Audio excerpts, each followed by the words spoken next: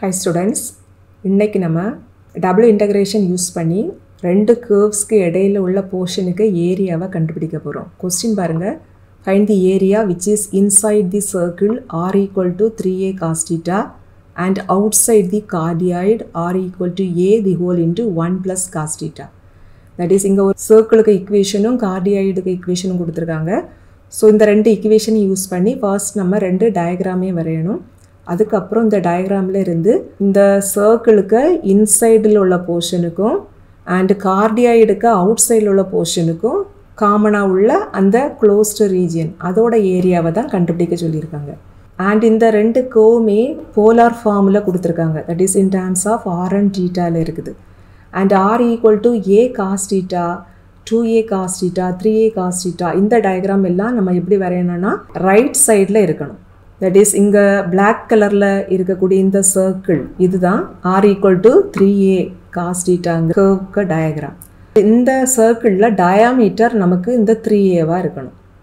Suppose r equal to a sine theta அப்படின்னு கொடுத்துருந்தாங்கன்னா இந்த டயக்ராம் வந்துட்டு அப்பர் ஹாஃப் போர்ஷனில் வந்துடும் சர்க்கிள் வந்துட்டு இப்படி இருக்கும். அண்ட் அடுத்ததாக நம்ம இந்த கார்டியாய்டுக்கு கர்வ் வரைஞ்சிடலாம் இந்த cardioid r equal to a the whole into one plus cos theta அப்படின்னு கொடுத்துருக்காங்க. இங்கே ரெட் கலரில் வரைஞ்சிருக்கிறது தான் கார்டியாய்டு கேவுக்கு டயக்ராம் அண்ட் இதில் வந்துட்டு ஒன் ப்ளஸ் காஸ்டீட்டான்னு கொடுத்துருந்ததுன்னா இந்த கார்டியாய்டு வந்துட்டு இந்த ரைட் சைடில் இப்படி இருக்கும். சப்போஸ் இங்கே ஒன் மைனஸ் காஸ்டீட்டான்னு கொடுத்துருந்தாக்க இந்த கார்டியாய்டு வந்துட்டு இப்படி லெஃப்ட் சைடு பார்த்து இருக்கும் இப்படி இருக்கும். அண்ட் இந்த கார்டியாய்டுக்கு ஈக்குவேஷனில் ரைட் சைடில் பாருங்கள் இங்கே a the whole into one plus cos theta இருக்குது. இதில் நமக்கு கான்ஸ்டன்ட் ஏ இருக்குது இல்லையாமா இந்த ஏ அப்படிங்கிறது இந்த கார்டியாய்டுக்கு இதில் இருந்து இது வரைக்கும் உள்ள இந்த ஹைட் ஸோ இந்த லென்த் வந்துட்டு ஏயாக இருக்கும். அண்ட் இதில் இருந்து இது வரைக்கும் உள்ள இந்த லென்த் வந்துட்டு டூ ஏயாக இருக்கும். இதுக்கு டபுளாக இருக்கும்.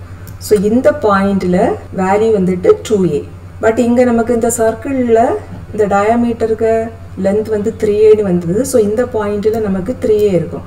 ஸோ த்ரீ ஏ விடவும் டூ ஏ வந்துட்டு கம்மியாக இருக்குது. ஸோ கார்டியாய்டுக்கு டயக்ராம் வந்துட்டு இந்த சர்க்கிளுக்கு உள்ளாடி இந்த சைடு தான் வரணும்.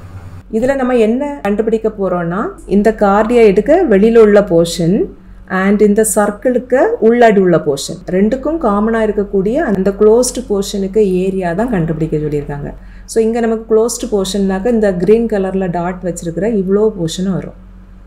ஸோ இந்த போர்ஷனுக்கு ஏரியாவை தான் நம்ம அடுத்தது கண்டுபிடிக்க போகிறோம் அண்ட் இதில் வந்துட்டு இந்த கார்டியாய்டு அண்ட் இந்த சர்க்கிள் ரெண்டுமே இந்த லைனுக்கு சிமெட்ரிக்காக இருக்கும். தட் இஸ் இந்த லைனுக்கு மேலே உள்ள போர்ஷனுக்கு ஏரியாவும் கீழே உள்ள போர்ஷனுக்கு ஏரியாவும் சேமாக தான் இருக்கும்.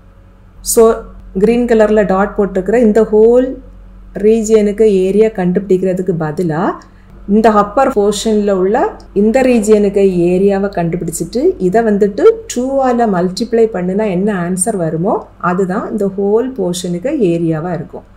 ஸோ இங்கே நம்ம அப்பர் ஹாஃப் போர்ஷனுக்கு ஏரியா எதனால் கண்டுபிடிக்க போகிறோம்னா இதுதான் நமக்கு ரொம்ப ஈஸியாக இருக்கும். பிகாஸ் ஆர் அண்ட் டீட்டாவில் லோவர் லிமிட் ஜீரோ வர்றதுக்கு சான்ஸ் இருக்குது. ஸோ சிம்பிளிஃபிகேஷன் கொஞ்சம் ஈஸியாக இருக்கும்.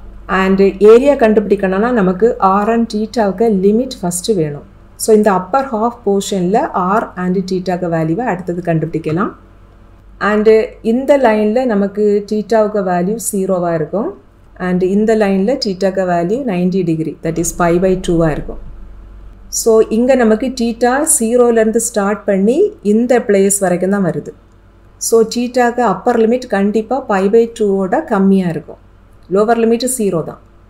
அண்ட் இந்த டீட்டாவோட லிமிட் கண்டுபிடிக்கிறதுக்கு என்ன செய்தால் போதும்னா கொடுத்துருக்கிற ரெண்டு கேர்வுக்கு இக்குவேஷனையும் சால்வ் பண்ணிட்டாலே போதும். அண்ட் ஆருக்கு லிமிட் கண்டுபிடிக்கிறது ரொம்ப ஈஸி தான். ஆர் லிமிட் கண்டுபிடிக்க என்ன செய்யணும்னா இந்த க்ளோஸ்டு போர்ஷனில் இந்த ரெண்டு கேர்வையும் நம்ம கனெக்ட் பண்ணி ஒரு ஸ்ட்ரிப் போட்டோம்னா இந்த லெஃப்ட் எண்ட் எந்த கேர்வில் டச் ஆகுதுன்னா இந்த ரெட் கலர் லைனில் டச் ஆகுது. அண்ட் இந்த ரெட் கலர் லைனுக்கு equation r equal to a the whole into one plus cos theta so lower limit of arch value a the whole into one plus cos theta தான். And இந்த ஸ்ட்ரிப்புக்கு right end எந்த கேர்வை touch பண்ணுது பாருங்கள் இந்த black colour கேர்வை touch பண்ணுது. But இந்த பிளாக் கலரில் இருக்கக்கூடியது இந்த சர்க்கிளுக்கு கேர்வ் அண்ட் அந்த சர்க்கிளுக்கு ஈக்குவேஷன் என்னென்னா r equal to three a cos theta so upper limit இங்கே வந்துட்டு த்ரீ ஏ காஸ்டீட்டாவாக இருக்கும். ஸோ இங்கே r varies from a the whole into one plus cos theta to three a cos theta அடுத்தது டீட்டாக்க லிமிட் கண்டுபிடிச்சிடலாம். டீட்டாக்கு லோவர் லிமிட் ஜீரோ தான். பட் அப்பர் லிமிட் கண்டுபிடிக்கிறதுக்கு என்ன செய்யணும்னா இந்த ரெண்டு கேர்வுக்கு ஈக்குவேஷனையும் சால்வ் பண்ணால் போதும். அண்ட் ரெண்டு ஈக்குவேஷன்லையுமே லெஃப்ட் ஹேண்ட் சைடு ஆர் தான். ஸோ ரைட் ஹேண்ட் சைடு வேல்யூவை ஜஸ்ட் ஈக்குவேட் பண்ணிடலாம். பிகாஸ் லெஃப்ட் ஹேண்ட் சைடு ஈக்குவல்னா ரைட் ஹேண்ட் சைடு வேல்யூவும் ஈக்குவலாக இருக்கும். ஸோ அப்படி ரெண்டு ஈக்குவேஷனையும் ஈக்குவேட் பண்ணுறப்ப நமக்கு இந்த ஈக்குவேஷன் கிடைக்கும். இதில் ரெண்டு சைடும் உள்ள இந்த ஏயை கேன்சல் பண்ணிடலாம். So one plus cos theta equal to three காஸ்டீட்டான்னு கிடைக்கும். லெஃப்ட் சைடில் உள்ள காஸ்டீட்டாவை ரைட் சைடில் கொண்டு போனால் நமக்கு லெஃப்ட் சைடில் ஒன் இருக்கும். ரைட் சைடில் three cos theta minus cos theta வரும். தட் இஸ் டூ காஸ்டீட்டானி ரைட் சைடு மாறிடும்.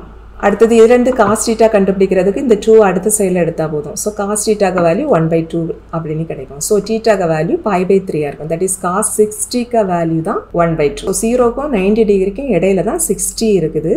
So upper limit of theta வந்துட்டு இங்கே five by three so theta varies from zero to five by three க்ரீனில் dot வச்சுருக்கக்கூடிய இந்த போர்ஷன் இதோட ஏரியா தான் நமக்கு இங்கே தேவைப்படுது. ஸோ இந்த ஹோல் ரீஜனுக்கு ஏரியா கண்டுபிடிக்கிறதுக்கு நம்ம என்ன செய்கிறோம் இந்த ஃபஸ்ட்டு குவாட்ரண்ட்டில் இருக்கக்கூடிய இந்த க்ளோஸ்டு போர்ஷன் இதோட ஏரியாவை கண்டுபிடிச்சிட்டு அதை டூவால் மல்டிப்ளை பண்ணி நம்ம ஆன்சர் எழுத போகிறோம் ஸோ இங்கே நம்ம ஏரியாக்கு ஃபார்முலாவை எப்படி எழுதிடலான்னா two into area of the portion in the first quadrant and ஏரியாவுக்கு ஃபார்முலா என்ன வரும்னா double integral of r dr d theta so இங்கே நமக்கு ஏரியா எப்படி டிஃபைன் பண்ணிடலாம்? Two into double integral of r dr d theta and inner integration is with respect to r so inner இன்டகிரேஷனில் ஆர்க்கு limit எழுதியிருக்கிறோம். Outer integration with respect to theta so outer இன்டகிரேஷனில் டீட்டாக்கு limit எழுதியிருக்கிறோம்.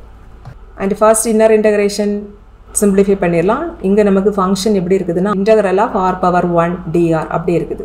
And இது எந்த ஃபார்மில் இருக்குதுன்னா integral of x power n dx அப்படி இருக்குது.